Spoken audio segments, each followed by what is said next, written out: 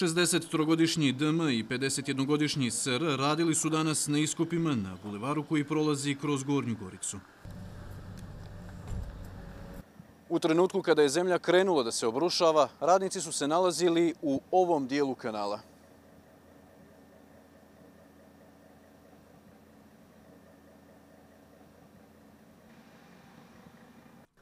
Za sada se ne zna ko je odgovoran za nesreću. Nakon preduzetih radnji, tužilaštvo će nastaviti da e, preduzima dalje aktivnosti radi utvrđivanja eventualne krivične odgovornosti nekog od lica.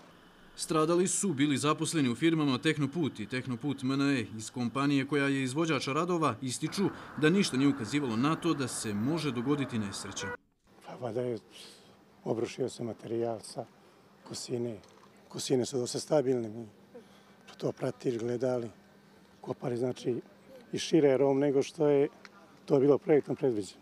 Šta je predviđeno projektom, utvrdit će vještak koji je već uočio određene nepravilnosti. Evidentno je da da su narušene eh, eh, mjere zaštite na radu prilikom izvođenja ovakvih objekata, ovakva dubina eh, iskopa je zahtijevala podgradu, ali moramo da pogledamo šta je projektant predvidio, šta je glavni rukovodilac nadzora, da li je ona uopšte bila kao posebna osiguravajuća konstrukcija predviđena projektnom dokumentacijom i tako dalje. Prema Žarkovićevim riječima, za bezbjednost u izvođenju ovakvih radova odgovaraju mnogi.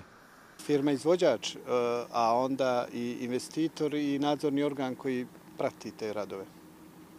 Svi oni u svom opisu posla su dužni da se prije svega pridržavaju mjera zaštite na radu. Nesreća u Gornjoj Gorici dogodila se prema informacijama iz tužilaštva oko 12 sati. Tijela stradalih poslata su na obdukciju.